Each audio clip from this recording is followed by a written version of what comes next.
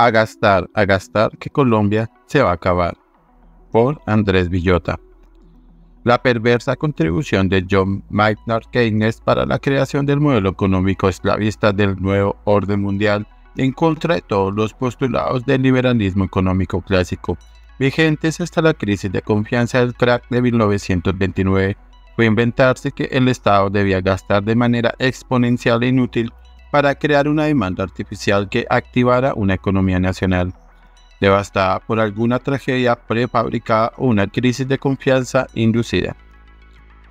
Gastar mucho exige también debilitar a las monedas nacionales para crear pobreza y miseria que hace necesaria la presencia del Estado en la actividad de los particulares para salvarlos de la pobreza y de la miseria con unos derechos creados de manera artificial que bautizaron como justicia social.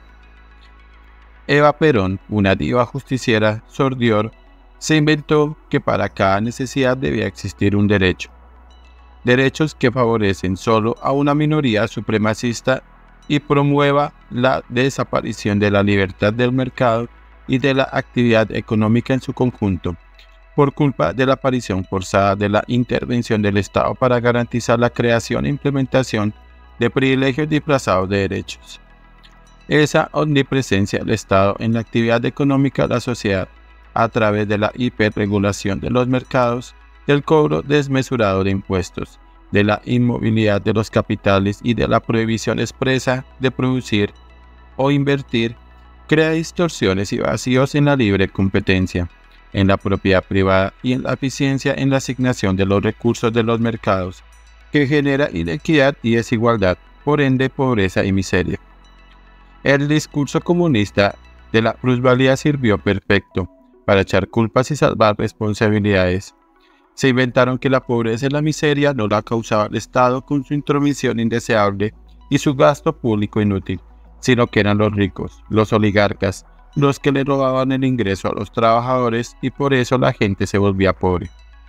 A los sindicatos usados para mostrar a los trabajadores como víctimas de los empresarios, el Estado los volvió intocables para promover huelgas y protestas, pisotear los derechos de los que sí trabajan, sabotear la actividad corporativa y hacer demandas laborales irracionales, que contribuyen a destruir el tejido empresarial y a precipitar la debacle económica, creando desempleo, hambre, desolación y muerte.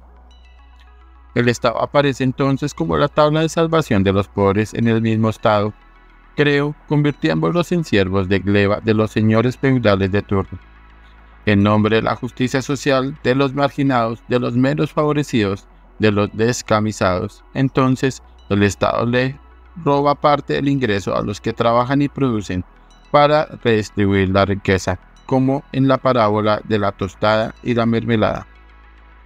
Contra toda evidencia, los sindicatos le hacen repetir a sus miembros que el empresario los explota y los roba, aunque en el comprobante de pago que le entregan cada mes claramente aparece que el empresario le entregó completo su salario al trabajador y que fue el Estado y el sindicato el que le robó una parte significativa de su ingreso. El Estado y el sindicato son los ladrones, el empresario nunca lo ha sido.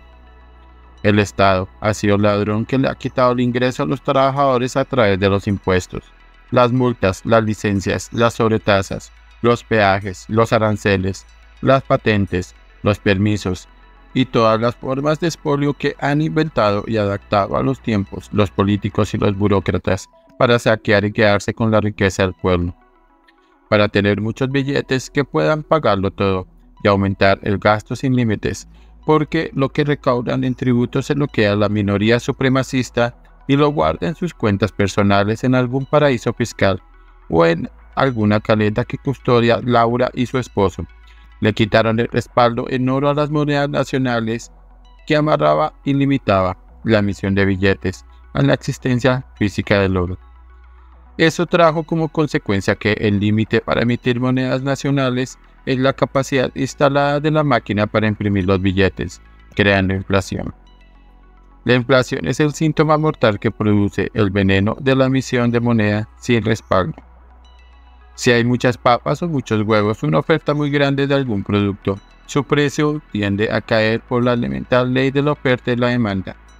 Si hay muchos, muchísimos billetes en una economía, el valor de la moneda cae. Por ende, con un mismo billete cada vez se puede comprar menos cosas.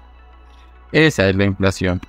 La emisión desaforada de billetes sin respaldo que, por no estar soportada su emisión en oro, convierte a los precios en el mecanismo de ajuste entre los pocos bienes y servicios de una economía, y la masa monetaria gigante que tuvo que imprimir el Estado para pagar todo lo que no puede pagar con los impuestos.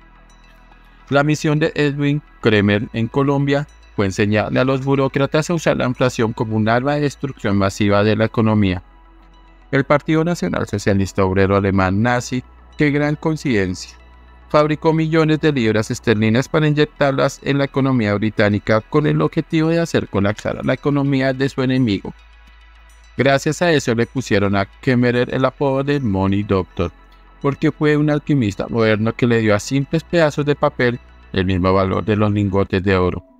De ahí el nombre de la moneda fiduciaria Trotz, porque la gente confía en que un pedazo de papel vale algo que en realidad no vale nada.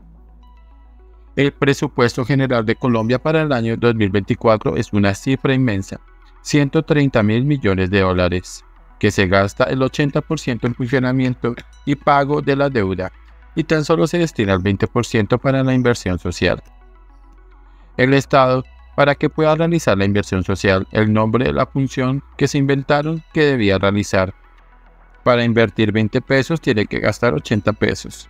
Dicho de una manera coloquial, es más caro el collar que el perro o cuesta más caro el caldo que los huevos. Una aberración total. Luis Carlos Reyes, director de Dirección de Impuestos y Aduanas Nacionales de Colombia, DIAN, dijo orgulloso que el recaudo tributario en Colombia había crecido como porcentaje del PIB en el año 2023 llegando al 21,7%, en comparación con el año 2022 cuando estuvo a niveles del 19,7%. Aumentó el recaudo, pero el Estado colombiano no tiene para pagar los derechos para ser la sede de los Juegos Panamericanos, ni le dio la plata que le había prometido a la Liga Femenina de Fútbol, ni tiene los recursos para transferirles a las EPS que, fruto del desespero, se han visto obligadas a empezar procesos ejecutivos en contra de los desempleados que no han podido seguir haciendo sus aportes. La forma en la que dilapidan los recursos públicos Gustavo Petro y Verónica Alcocer es tan absurda, exuberante y descarada que ha logrado que sean comparados con parejas míticas como la de Bonnie y Clyde, o la de Juan Domingo y Eva, o la de Ferdinand e Imelda, o la de Ernesto y Jacqueline, o la de Néstor y Cristina, o la de Nicolás y Silvia, o la de Juan Manuel y María Clemencia. Esa dinámica del despilfarro ha servido para demostrarle a los colombianos que no es necesario pagar impuestos porque la actividad del Estado es inútil e innecesaria y porque la intromisión del Estado en la economía produce todos los efectos contrarios a los esperados. Han servido también para mostrarle a los contribuyentes que todo lo que les quita al Estado es para financiar a la escoria del mercado laboral colombiano, a todos los que no fueron tenidos en cuenta por las empresas productivas por tratarse de incompetentes, drogadictos, ignorantes, perdedores, mediocres o fracasados. Convirtieron al Estado en el empleador de todos los inempleables. La historia demuestra que el momento de mayor riqueza y bienestar de los colombianos fue cuando existía la libertad económica plena. El peso colombiano estaba respaldado en oro y lo más importante, el Estado era microscópico, casi invisible y no se entrometía en la actividad económica de la sociedad. Colombia, por ejemplo, debe desaparecer porque su actividad está muy lejos de promover las exportaciones de los empresarios colombianos y su función real es la de proveer servicios de scores a la primera dama. A este ritmo de gasto público improductivo, antes de que se vaya Gustavo Petro y Verónica Alcocer de la Casa de Nariño, la economía colombiana va a colapsar. El objetivo central del caos planificado y cuando eso pase, los lazos de dependencia de los colombianos con el Estado serán imposibles de cortar. La esclavitud será total.